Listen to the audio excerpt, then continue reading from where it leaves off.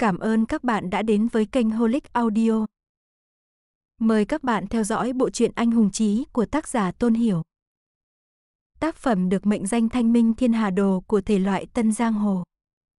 Kiếm hiệp. Quyển 11 chương 3 xưa nay thánh hiền đều cô độc, hồi 1. Văn võ chi chính, bố tại phương sách, kỳ nhân tồn tắc kỳ chính cử, kỳ nhân vong tắc kỳ chính tức. Đoạn này đến từ chương 20 của thuyết Trung Dung. Năm xưa ai hỏi công chính, khổng tử liền nói cho hắn vì chính ở người, lấy người lấy thân, tu thân theo đạo, lấy nhân mà tu đạo, chỉ có siêng tu đạo của quân tử mới có thể yêu thương người khác, thực hành nhân từ, để cho thiên hạ thái bình. Mấy nghìn năm nay, không biết có bao nhiêu văn nhân, quan lại đọc đoạn văn này, nhưng từ xưa đến nay, thế gian người đọc sách đâu chỉ ngàn vạn, giữa mênh mang biển người, có thể thiết thân thực hiện lại có mấy người. Sau giờ ngọ tuyết rơi dày đặc, bông tuyết rơi trên mái ngói càng có vẻ yên tĩnh an tường. Cố Thiến Hề ở trong phòng khách một mình trầm tư chuyện cũ. Hôm nay là đêm giao thừa năm kỳ tỵ, ngày cuối cùng của năm cảnh thái thứ 32. Tiếng pháo trúc nổ báo hiệu sắp qua tuổi cũ, những ngày cuối năm, cố phủ bận rộn trong ngoài, chờ đêm nay bên đống lửa đón giao thừa. Nhưng năm nay có chút khác biệt, trong nhà lại có thêm một người đến đón giao thừa. Cố Thiến Hề khẽ mỉm cười, trong lòng lộ ra sự ấm áp, nàng đặt quyển sách trên tay xuống, quay đầu nhìn về phía chàng trai trẻ trên giường. Lư lang. Cố Thiến Hề khẽ vuốt gương mặt tình lang, trong mắt tràn ngập yêu thương. Gã sai vặt nghèo khổ kêu thấu trời xanh ở Dương Châu năm nào, chàng thư sinh kiêu hãnh quay lưng bỏ đi trong quán trà kinh thành, giờ cuối cùng cũng yên lặng nằm bên cạnh nàng. Giờ khắc này, không có vì thiên địa lập tâm hào hùng, không có loạn thế văn chương bi phẫn. Còn lại chỉ có ánh mặt trời ấm áp sau giờ ngọ, cảnh tuyết rơi yên tĩnh ngoài cửa sổ. Cố Thiến Hề chậm rãi đổ người nằm trên giường, nằm ở bên cạnh Lư Vân, gối đầu lên bờ ngực rộng của tình lang, trong lòng cảm thấy bình an. Cố Thiến Hề nhìn nghiêng khuôn mặt của Lư Vân, sống mũi thẳng, quai hàm kiên nghị, sau đó lại nhìn ra tính tình cương ngạnh của hắn, ngay cả trong giấc ngủ, lông mày cũng nhíu chặt, như thể có nỗi đau khổ nào đó không thể nói nên lời. Cố Thiến Hề nhẹ nhàng run rẩy, trong lòng bỗng nhiên cảm thấy sầu lo. Lư Lang a hát Lư Lang, chàng đã là cao trung trạng nguyên, nổi danh, vì sao còn không vui? Rốt cuộc chàng còn cầu điều gì nữa? Vì sao luôn không thể sống yên ổn? Nàng khẽ thở dài, nhìn vào cuốn sách trên tay. Có lẽ câu trả lời nằm trong cuốn sách này. Đó là bộ tứ thư phổ biến nhất, với vẻ ngoài cũ kỹ, nhưng các trang viết đầy những chữ viết nhỏ vốn do chính Lư Vân Tâm đắc ghi nhớ viết ra. Khí khái, lòng son, can gián, xả thân vì nghĩa lớn, giữa các hàng, từng chữ từng chữ bay lượn, khiến người kinh tâm sợ hãi. Khổng tử a hát khổng tử, ngài rốt cuộc muốn biến tình lang của ta thành dạng người gì? Ngài muốn chàng ấy hủy hoại chính mình sao? Cố Thiến hề ngơ ngác nhìn Lư Vân đang ngủ say, dường như ngây ngốc. Lại nói Lư Vân vô duyên vô cớ, vì sao lại ngủ bên cạnh tiểu thư? Hóa ra đêm qua cố tự nguyên nhân ngày hội, mời bạn tốt trong kinh thành đến phủ uống rượu. Trong lúc mọi người vui vẻ uống rất nhiều, đã chuốc cho Lư Vân say như chết, rốt cuộc say thành dáng vẻ này. Cố Thiến Hề tuy cũng uống chút rượu, nhưng rốt cuộc cũng không uống nhiều, dậy từ sáng sớm để chăm sóc tình lang, cho đến bây giờ vẫn chưa từng rời đi nửa bước. Nói đến yến tiệc của cố tự nguyên, lại có chút điển cố ở bên trong. Hóa ra vào đêm ngày 19 tháng 12 âm lịch, kiếm thần, giận dữ ra tay, Trác Lăng Chiêu dựa vào một thân thần công, không chỉ giết chết hàng trăm thị vệ mà còn suýt đâm chết Giang Sung. Theo ngự y nói, cánh tay và bả vai của Giang Sung bị thương nặng, trong 3 tháng không thể động đậy, không những không thể phê duyệt công văn mà việc xuống giường đi lại cũng khó khăn. Không có gian thần chống lưng, một chúng loạn quân bạo dân tự nhiên tan rã, bạo loạn sau khi lưu kính thất bại rốt cuộc đã hạ màn. Một chuyện lớn vui vẻ như vậy, đại thần trong triều ai mà không vui mừng khôn xiết. Chỉ là e ngại mặt mũi Giang Sung, không tiện ngang nhiên công khai vỗ tay mà thôi. Cũng chính vì thế mà cố tự nguyên mới lợi dụng ngày đầu năm mới để tổ chức tiệc mừng trong phủ. Là yến tiệc gia đình hiếm có, chư vị quan triều tâm tình chào dâng, chửi ầm Giang Sung rất nhiều, không khỏi uống thêm hai ly. Lưu Vân và Cố Thiến Hề ngồi bên cạnh, chúng gia thúc bá thấy đôi tình nhân này trong lòng ca ngợi, lại nghe nói Lư Vân làm quan dưới trướng Liễu Ngang Thiên, xuất thân quân lữ, văn võ toàn tài, càng liều mạng mang rượu tới rót. Cố Thiến Hề tuy rằng tận lực ngăn cản, nhưng Lưu Vân là người thành thật, từ trước đến nay rượu đến là cầm ly, không biết đùn đẩy mà từ chối, cuối cùng bị rót đến chống đỡ hết nổi ngã xuống đất. Làm A Phúc và những người khác khiêng hắn trở lại phòng khách, đến giờ vẫn còn chưa tỉnh lại. Cố Thiến Hề đêm qua ngủ không ngon, hôm nay lại dậy quá sớm, thực sự mệt mỏi, nàng ôm Lưu Vân, trong lúc nhất thời còn buồn ngủ, cũng chậm rãi chìm vào giấc. Vừa mới nghỉ ngơi một lát, lại có người gõ cửa, Cố Thiến Hề giật mình vội vàng mở mắt ra, lúc này đang ôm tình lang của mình, mặc dù không vi phạm lễ nghi, nhưng không thể để người khác nhìn thấy, lập tức vội vàng đứng dậy, sửa sang lại quần áo một chút, sau đó ra mở cửa. Cửa phòng mở ra, có một lão già đứng ở đó, dáng vẻ gầy gò, chính là phụ thân của nàng Cố Tự Nguyên. Cố Thiến Hề vén áo thi lễ, nhẹ giọng kêu, cha. Cố gia là quan lại thế gia, coi trọng lễ nghĩa, dù cho thân như phu thê cha con, hàng ngày khi không người cũng không thể thiếu lễ nghi ứng đối, tự nhiên sinh ra một cổ giáo dưỡng, khác với sự hung hăng giang hồ của Giang Sung. Cố tự nguyên bước vào phòng, thấy Lưu Vân vẫn còn ngủ, bèn nhỏ giọng hỏi, sao rồi, say đến như vậy cơ a hát.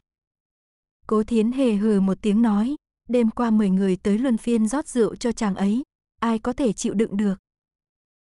Cố tự nguyên nghe con gái nói có chút oán giận, nhớ tới đạo lý nữ đại bất trung, không khỏi lắc đầu cười khổ, kéo một chiếc tự ngồi xuống.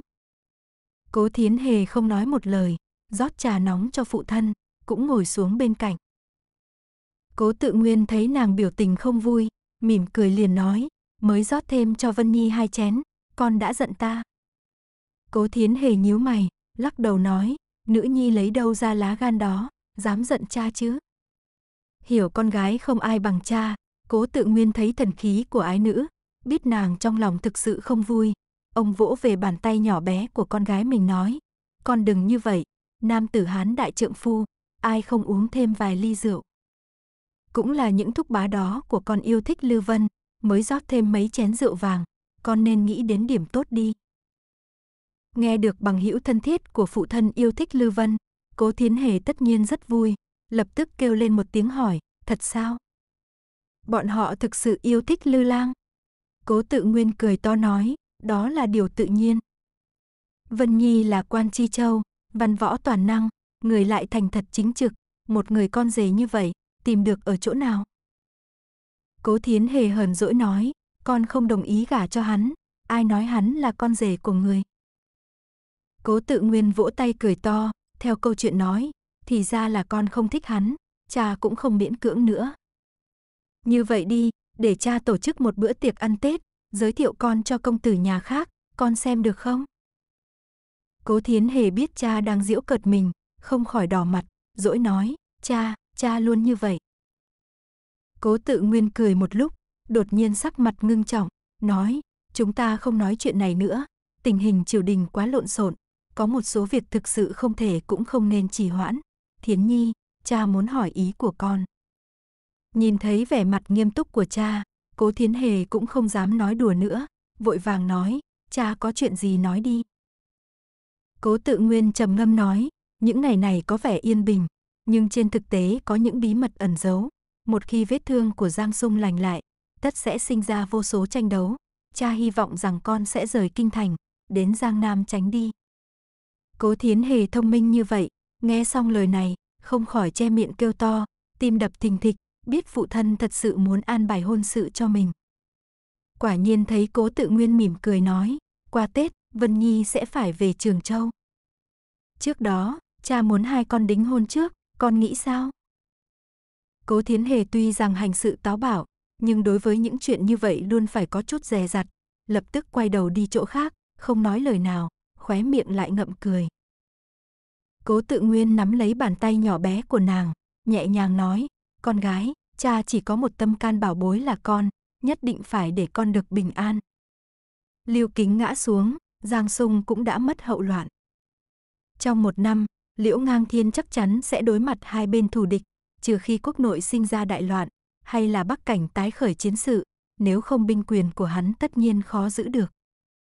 Ta không muốn Vân Nhi bị liên lụy vào, càng không muốn con ở lại kinh thành, các con sớm đến Giang Nam, cha càng có thể yên tâm.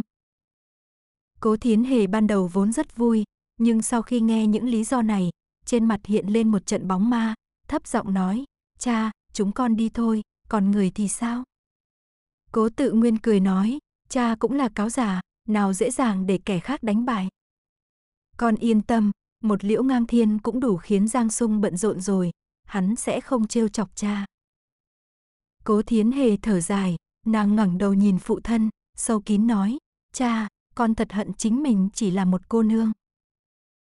Cố tự nguyên biết rằng bản chất con gái mình rất mạnh mẽ, từ nhỏ đã thích cùng nam tử ganh đua cao thấp, ông cười nhẹ, lắc đầu nói, con lại vậy rồi, sắp gả cho người ta rồi, sao còn nói những lời như vậy? Cha từ nhỏ dạy con đọc sách viết chữ, những gì nam nhân có thể học, con cũng đã đều học qua, còn hận điều gì chứ? Cố Thiến Hề nói, con không thực sự hận, con chỉ là cảm thấy khó chịu. Thân là nữ nhi, trung quy không thể xuất sĩ làm quan. Biết rõ triều đình cục diện hiểm ác, lại cũng không giúp được gì, chỉ có thể trơ mắt nhìn người thân chịu khổ chịu nạn. Nói nhìn phía Lư Vân, lại thở dài. Lư Vân đã nhiều ngày ở trong nhà nàng, hai người tuy rằng mỗi ngày gặp mặt, nhưng cố Thiến Hề vẫn cảm thấy lo lắng khi nhớ lại cuộc chia ly ngày ấy. Nếu lúc ấy sự việc đã bại lộ, Lưu Vân bị bắt vào nhà giam, e rằng cả đời này hai người cũng không gặp được nhau. Cố Thiến Hề tuy biết Lưu Vân có nỗi khổ riêng, nhưng khi nhớ lại vẫn cảm thấy kinh hãi.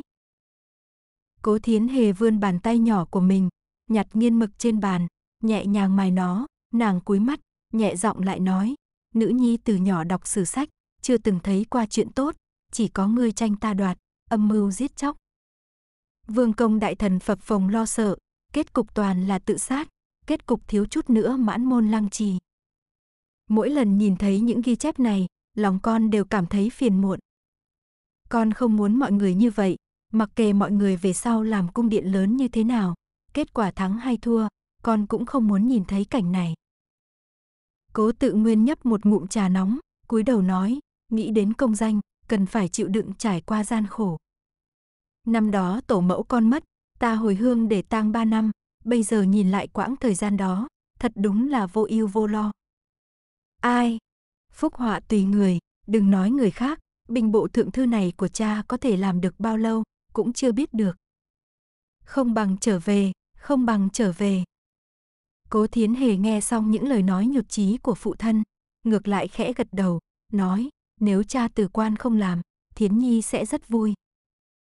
Cố tự nguyên cười to, nhéo má hồng của nàng nói, cha không làm quan, vậy lang quân như ý của con thì sao? Con mau xuất giá đi, Vân Nhi nếu không chăm chỉ đua tranh sự nghiệp, về sau làm thế nào an bài ổn thỏa cuộc sống được cho con? Cố Thiến Hề thở dài, con cũng không thích Lư Lang làm quan. Mọi người tốt nhất đều nên quay về Dương Châu, sống một cuộc sống yên bình, không cần lo lắng về bất cứ điều gì khác. Đó mới là điều hạnh phúc nhất. Sau xong nữ nhi cảm khái, cố tự nguyên sờ đầu nàng, cười nói, bang hữu đạo tắc sĩ, bang vô đạo, quyển nhi hoài chi. Nếu triều đình thực sự ở trong tay Giang Sung, cha nhất định lập tức từ quan về quê, được không? Cố Thiến Hề vui vẻ nói, quân tử nhất ngôn. Cố tự nguyên cười nói, khoái mã nhất tiên. Hai cha con tâm ý tương thông, nhất thời nhìn nhau cười to. Bang hữu đạo tắc sĩ, bang vô đạo, quyển nhi hoài chi trích dẫn lời khổng tử mang nghĩa. Nước có đạo thì ra làm quan, khi nước vô đạo biết lui về ở ẩn. Nếu quốc gia trị quốc thanh liêm, sĩ phu tự nên xuất sĩ làm quan, nhưng nếu quốc gia bị gian thần nắm giữ, tất nhiên nên thoái ẩn, không can lộc, không tham vọng. Nho học khổng tử kiến thức cao thâm, quân tử nên như vậy, cố tự nguyên hiểu sâu nho giáo, đến lúc nên noi gương thánh hiền. Hai người trò chuyện một lúc, trời cũng tối dần, cố tự nguyên đứng dậy nói, sắp đến giờ ngồi quanh bếp lửa rồi, chúng ta lát còn dâng hương cho tổ tiên, cha đi thay lại xiêm y. Thoáng nhìn Lưu Vân nói, nên đánh thức Vân Nhi rồi, bảo nó sửa soạn lại chút, bằng không nhị di nương lại nhiều lời. Cố Thiến Hề đẩy cha ra ngoài mỉm cười nói, con gái đã biết. Từ Dương Châu đến Bắc Kinh, từ một cậu bé trở thành trạng nguyên, khoảnh khắc quây quần bên bếp lửa không biết đã đợi bao lâu, nghĩ tới có thể cùng tình lang đón giao thừa, trong lòng thực sự rất vui mừng. Phụ thân vừa ra cửa phòng, Cố Thiến Hề lập tức ngồi xuống bên cạnh giường. Lúc này Lư Vân vẫn còn đang ngủ say. Cố Thiến Hề nhìn sâu vào gương mặt người trong lòng, âm thầm cầu nguyện, chỉ mong ông trời phù hộ, không cầu phú quý, không cầu hiển đạt, chỉ mong hàng năm đều như bây giờ, vậy là đủ rồi.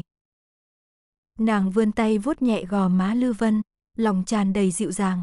Đột nhiên Lư Vân xoay người vô tình lại nằm lên đùi nàng. Trong lúc nhất thời mặt còn gối lên đùi mình, miệng vẫn còn ngáy.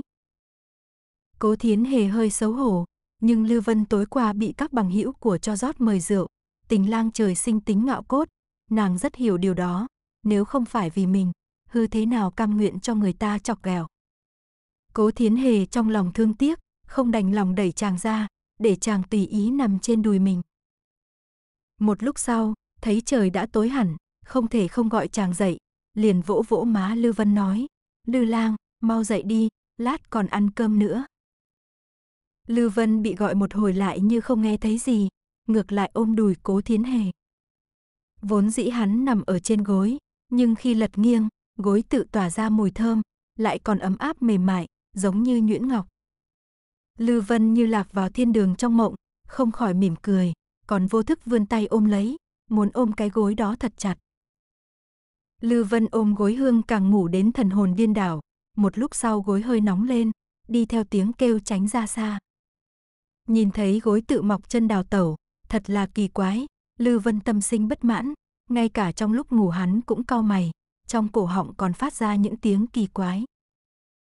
Cố Thiến Hề đứng bên giường, hai mắt đỏ bừng, thầm nghĩ, dọa chết người.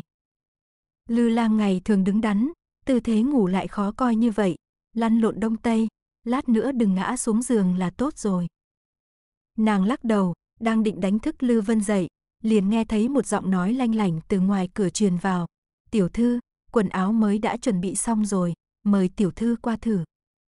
Cố Thiến Hề nghe tiếng A Phúc tới, lập tức đáp ứng một tiếng, liền đi ra khỏi phòng. A Phúc thấy tiểu thư rời đi, đang muốn xoay người rời đi, thì nghe thấy trong phòng truyền ra một tiếng gầm gừ trầm thấp, giống như có dã thú nào đang ẩn nấp bên trong. Hắn hoảng sợ, gión ra gión rén mà đi vào trong phòng, chỉ thấy một nam tử anh Tuấn đang nằm ở trên giường, mày kiếm nhíu chặt, đôi tay múa may trên không, trên mặt lộ ra vẻ bất mãn, không phải Lưu Vân thì là ai? A Phúc giật mình, run giọng nói, đây không phải là A Vân đại nhân sao? Sao lại thở hồn hển thế này? Bị ma đè phải không? Hắn cúi đầu gần, vừa muốn đi tới kiểm tra, đột nhiên đôi tay vươn tới, bị người ta ôm lấy, A Phúc sợ tới mức toàn thân nhũn ra, không biết như thế nào cho phải, mắt thấy đầu Lưu Vân hướng tới gối lên đùi mình. A Phúc giật mình, vội vàng dãy giụa, nhưng Lưu Vân đã luyện vô tuyệt tâm pháp, người bình thường làm sao có thể chống lại. Cuối cùng, lại bị ôm chặt. Chỉ nghe A Phúc cả kinh nói, ngươi đừng sờ loạn. Làm cái gì đó, ngứa quá, a a. Cố Thiến Hề đang thử bộ đồ mới, mời chỉ rút xiêm y, đã nghe thấy tiếng trong phòng khách kẻ trước người sau, truyền đến hai tiếng kêu thảm thiết, nghe như A Phúc và Lưu Vân đồng thanh kêu, nàng lòng tràn đầy buồn bực, lại cũng không biết đã xảy ra chuyện gì, tốt nhất là đừng để tình lang rơi khỏi giường. Đêm trừ tịch giao thừa quây quanh bếp lửa, người nhà cố phủ ngồi đầy một bàn, Lưu Vân ngồi cạnh cố thiến hề, ghé mắt nhìn lại, thấy người trong lòng mặc váy lụa áo hồng, má hây hây đỏ, quay đầu mỉm cười, ánh mắt tự có thể đưa tình. Lưu Vân say rượu mới tỉnh, nhìn thấy tư dung của cố thiến hề, không ngờ lại có chút say, tay cầm rượu càng không nghe lời, run run rung lắc, rượu chảy khắp người hắn. Nhị di nương nhìn thấy âm thầm mắng chửi, cố phu nhân lại mỉm cười, tựa hồ không để bụng. Cố tự nguyên cười to, nhìn xung quanh mọi người nói, khó khăn có dịp đón giao thừa, ngày hội đoàn tụ, chúng ta là thư hương thế gia, không thể không đưa ra một số chủ đề cho phù hợp với dịp này, mọi người nghĩ sao? Ông thấy người nhà vỗ tay hoan hô, lập tức chỉ Lư Vân cười nói, đón giao thừa, Vân Nhi lại ngủ mơ màng, cầm chén rượu cũng không xong, trước tiên phạt hắn. Lư Vân đỏ mặt, biết trò hề của mình đã bị cố tự nguyên nhìn thấy. Hắn lúng túng nói, cô bá bá muốn phạt như thế nào? Uống một chén hay cả bình? Đêm qua, hắn bị rót rất nhiều, đứng cũng không được, ngồi cũng không xong, không đối sự nửa câu, không biết đã uống bao nhiêu chén. Vừa nghe sắp bị phạt, lập tức tự muốn uống ba chén. Cố tự nguyên cười nói, không vội uống, cố bá bá muốn con ngâm thơ phù hợp với dịp này, quy tắc bảy chữ, nghĩ không ra phạt ba chén, thức dậy loạn phạt một chén. Lưu Vân xuất thân trạng nguyên, văn tài há cùng không vừa, cố tự nguyên muốn hắn làm thơ hợp với tình hình, đó là ý định muốn hắn hòa hợp vào với gia đình. Hắn trầm ngâm sau một lúc lâu, quay đầu nhìn ngoài cửa sổ, nói, trước đây đón năm mới ở Dương Châu, bây giờ đón năm mới ở Bắc Kinh, con sẽ lấy đây làm thơ, được không? Cố tự nguyên vừa mừng vừa sợ, nói, Vân Nhi nếu có cảm hứng, cứ nói. Lư Vân nhớ tới nhiều năm tang thương, không chút nghĩ ngợi, nhất thời ngâm một đầu thơ.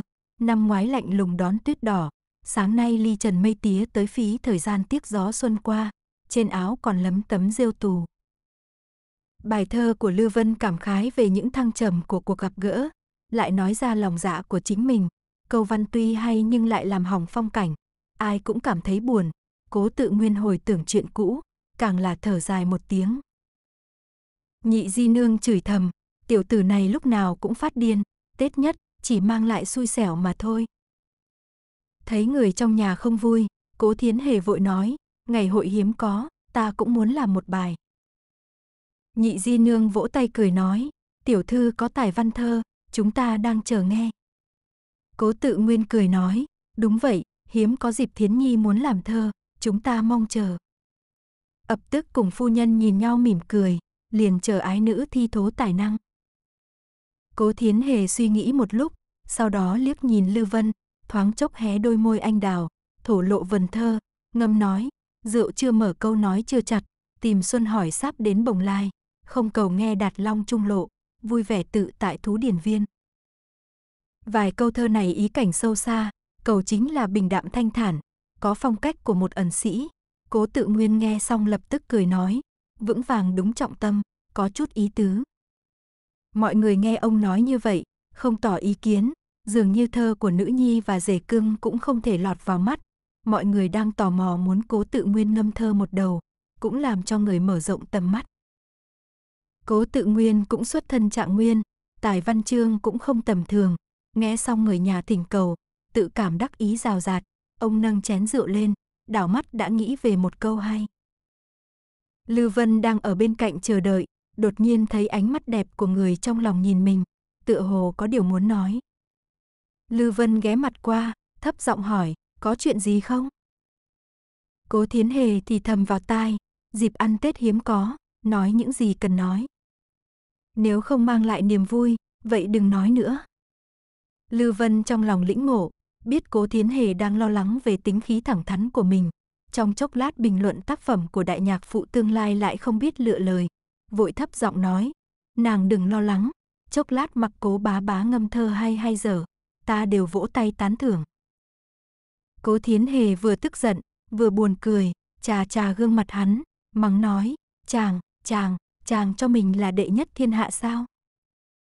Tiếng pháo trúc tiễn đưa năm cũ gió xuân đem hơi ấm vào rượu đồ tô, tháng chạp, trừ tịch giao thừa, thật nhanh, lại một năm nữa. Quyển 11 chương 3 xưa nay Thánh Hiền đều cô độc, hồi 2. Nửa đêm, khi tiếng pháo nổ vang lên, gia đình thị vệ cố phủ hiếm có được dịp nghỉ ngơi, lần lượt bắt đầu đánh bạc, Lưu Vân và Cố Thiến Hề nắm tay nhau ngắm tuyết, hai người họ ở một mình trong sân viện, cảm thấy ấm áp. Bạn bè trong kinh thành hôm đó từng người bận rộn, ngũ định viễn sắp xếp chỗ ở, đưa theo nghĩa tử cầm đuốc đón giao thừa, Dương Túc Quan thuộc gia đình giàu có trong kinh thành, cũng tụ tập với bạn bè người thân, sự phô trương không thua kém gì so với cố phủ. Mặc cho thế sự thăng trầm hỗn loạn, giờ khắc này kinh thành yên lặng tường hoa. Lư Vân ngước nhìn những bông tuyết trên bầu trời, suy nghĩ ngẩn ngơ. Từ Mậu Thìn đến Kỷ Tỵ, một năm này, thiên hạ đã xảy ra rất nhiều chuyện. Đầu năm công chúa đi hòa thân ngoại tộc, Ngũ Định Viễn khám phá ra nơi huyền cảnh bí ẩn. Tháng 2 Ninh Bất Phàm thoái ẩn, tháng 8 mình đỗ trạng nguyên, tháng 11 Đông Sưởng chính biến, Tần Trọng Hải lưu vong, cuối năm phái Côn Luân bị tiêu diệt, Trác Lăng Chiêu tự sát bỏ mình. Trong thời loạn, gấu cọp hoành hành, không cẩn thận thì nhà tan cửa nát, một năm nay thiên hạ loạn lạc không ngừng, có thăng thiên, có rơi xuống đất, hoặc sinh hoặc tử, không ai có thể quên một năm biến cố này. Còn năm tới thì sao? Ở năm canh ngọ, thế gian sẽ lại phát sinh chuyện lớn gì? Nghĩ đến Tần Trọng Hải, Lư Vân lắc đầu khẽ thở dài. Ở xa ngàn dặm, cũng có một tiếng thở dài vang lên.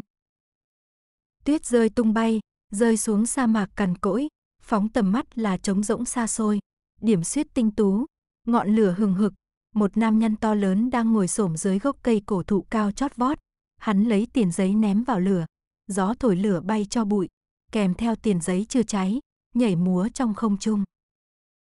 Sau lưng có hai thanh đao, một thanh trường đao nằm trên mặt đất bên cạnh chân, thân cao 10 thước, ngồi xổm trên mặt đất cũng cao ngang tầm người thường, khuôn mặt như đá không giận mà uy nghiêm.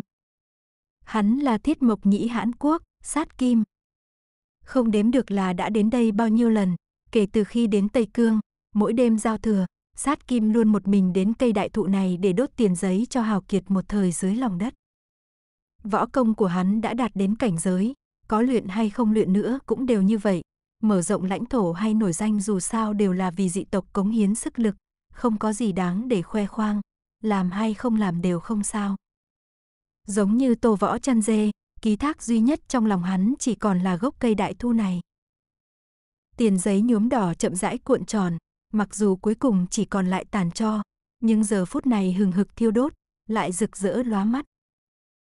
Tiếng gió xào xạc, biểu tình của sát kim cũng rất tiêu điều, hắn đứng dậy, vỗ vỗ tuyết trắng trên người, muốn vươn tay nhặt trường đao dưới chân, xoay người rời đi. Đột nhiên, có một tiếng động nhỏ từ phía sau, sát kim nhướng mày, lập tức cảnh giác chú ý. Âm thanh rất nhỏ rơi xuống đất, không giống như bông tuyết chạm đất, cũng không phải như lá khô rơi, mà là tiếng bước chân của người đi đường. Âm thanh rất nhỏ, khó có thể nghe thấy. Nếu không phải nội lực của sát kim thông thần, chắc chắn sẽ không nghe thấy âm thanh này. Sau bước đầu tiên, một lúc lâu sau, mới có tiếng thứ hai, sát kim nghiêng tai lắng nghe, bước chân chạm đất một chút, có tiếng lực nhẹ, chân chạm tuyết, lần nữa lại nhảy cao lên. Sát kim trong lòng dùng mình, hắn biết người này đi bằng mũi chân, hai chân xài bước cực xa, chẳng những thân hình cao lớn, mà khinh công cũng cực kỳ tốt. Sát kim hít một hơi thật sâu, cầm trường đao 12 thước trong tay. Đêm giao thừa tuyết rơi, tháng chạp gió lạnh, đêm cuối năm kỳ tị này, ai lại vô cớ đến sa mạc ngoại bang. Kẻ đến thì không thiện, kẻ thiện thì không đến, huống chi người đến là cao thủ võ học. Sát kim vận cao nội lực, vận hành chu thiên, chỉ chờ tiếng bước chân lại lần nữa vang lên, hắn sẽ lùi về phía sau quét ngang một đao. Phạm vi trong 12 thước người sẽ phải chết. Khi người đó rơi xuống đất, tiếng bước chân xoay mình dừng lại, cách đúng với mình 12 thước, không kém một tấc.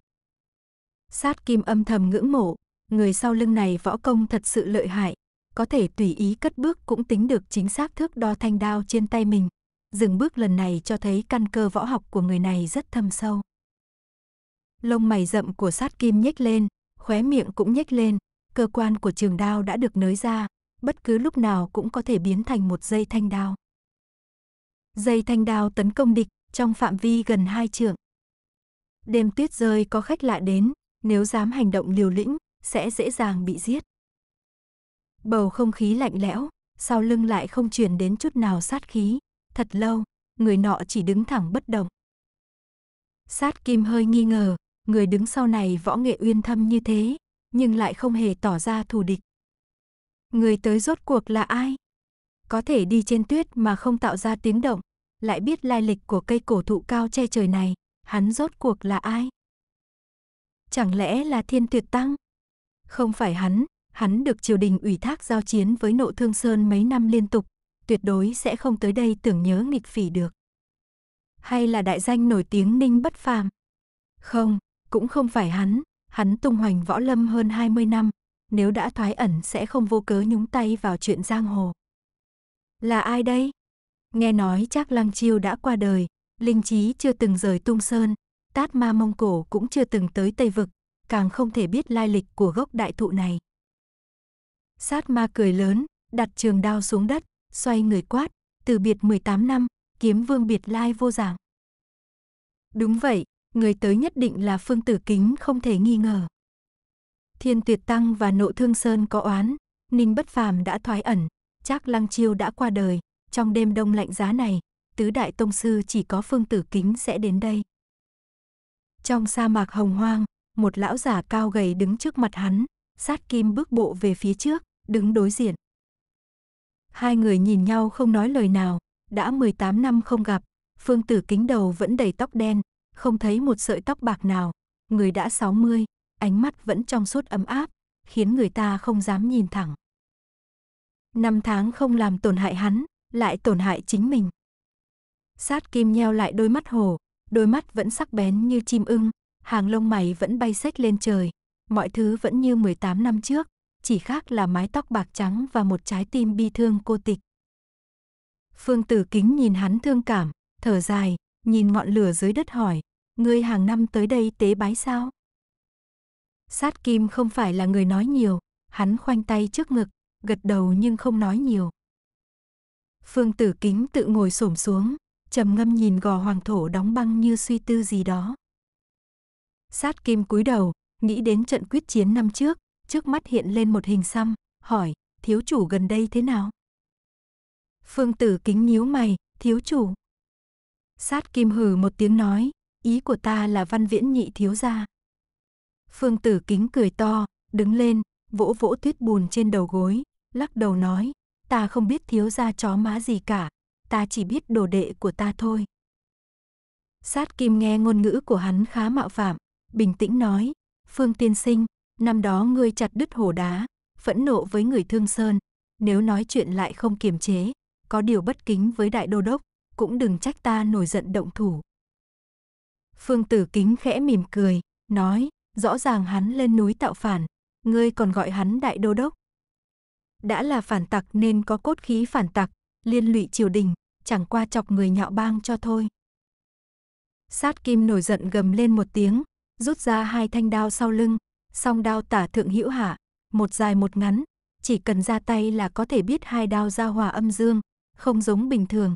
Sát Kim tay để song đao, lạnh lung nói, Phương Tiên Sinh, năm xưa mọi người là huynh đệ, không tiện lãnh giáo lẫn nhau, hiện nay sơn trại bị tiêu diệt, người ta không còn quan hệ, kiếm vương sao không diễn mấy chiêu, cũng làm cho ta mở rộng tầm mắt. Phương Tử Kính mỉm cười nói, mấy năm không gặp, tính tình ngươi vẫn nóng nảy như vậy. Sát Kim đặt song đao thành hình chữ thập, hét to nói, đừng nói những điều vô nghĩa. Sử dụng đao của ngươi đi.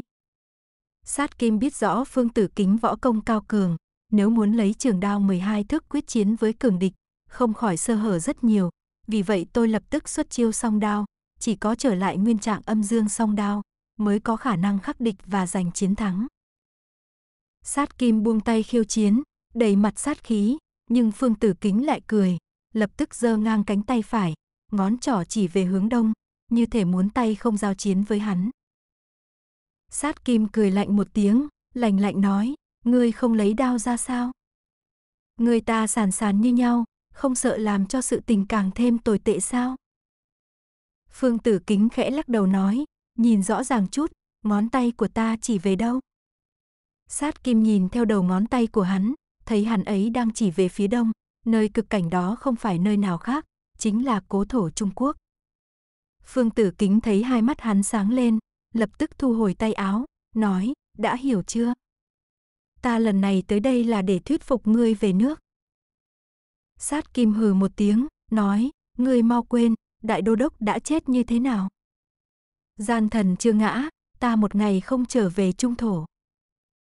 Phương Tử Kính mỉm cười nói, đừng lại nhắc đến tần bá tiên, người đã đi nên để hắn yên nghỉ. Người còn sống mới là ánh sáng trong lòng chúng ta. Sát kim chấn động toàn thân, run giọng nói, ngươi. Ngươi là nói công tử đại đô đốc muốn. Muốn. Phương tử kính gật đầu nói, kinh thành đại loạn, đông xưởng tạo phản, thiếu chủ của ngươi liên quan chính biến, may mắn tránh được tử kiếp, với tính khí của hắn, bất kể tình hình khó khăn như thế nào, hắn đều sẽ đông sơn tái khởi. Hắn dừng một chút, lại nói, thảm họa chiến tranh cùng nhau, Trung Nguyên nhất định phải gió lửa đốt trời, người thân là ái tướng của Tần Bá Tiên, có thể khoanh tay đứng nhìn sao? Sát Kim cả kinh nói, đông sường tạo phản. Thiếu chủ, thiếu chủ có ổn không? Phương Tử Kính bình đạm nói, xương tỳ bà của hắn bị xuyên thủng, võ công bị tàn phế, đến nay tung tích vẫn chưa rõ. Sát Kim lùi lại một bước, run giọng nói, ông trời ơi, hắn là cốt nhục duy nhất của tần gia. Chúng ta mau đi tìm hắn. Phương Tử Kính cười nói, ngươi đừng vội, người nên đến tự nhiên sẽ đến, đến lúc đó ngươi tự nhiên có thể gặp được hắn. Sát Kim lòng nóng như lửa đốt, trên trán mồ hôi lạnh chảy ròng ròng, thấy thần sắc Phương Tử Kính vẫn sâu xa khó lường, nhịn không được hét lên, Phương Tử Kính. Xương tỳ bà của đồ đệ ngươi đã bị xuyên thủng, hết võ công rồi, sư phụ như ngươi không nóng lòng sao?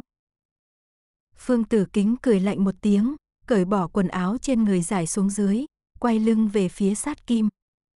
Dưới ánh sao chiếu rọi, sát kim có thể thấy rõ sau làn da trắng như tuyết, ngoại trừ hai vết đỏ to bằng cốc trà trên vai thì không có ấn ký nào khác. Sát kim hít một hơi thật sâu nói, ngươi, xương bả vai của ngươi. Phương tử kính nhìn lại vai mình, thoáng chốc cất tiếng cười to. Mùa xuân ấm áp, tuyết tan, nắng lên, một con thuyền hoa chạy ở giữa sông, chợt nghe trên thuyền vang lên tiếng một thiếu nữ kinh ngạc cảm thán. Lư lang, chàng xem con cá này. Dầm một tiếng, một con cá chép lật úp nhảy lên từ sông Hoàng Hà, vảy cá được ánh nắng rắc lên, vàng óng ánh khiến thân cá giống như một con rồng vàng. Lư Vân vỗ tay, nói, cá chép vượt long môn nên phải như thế này.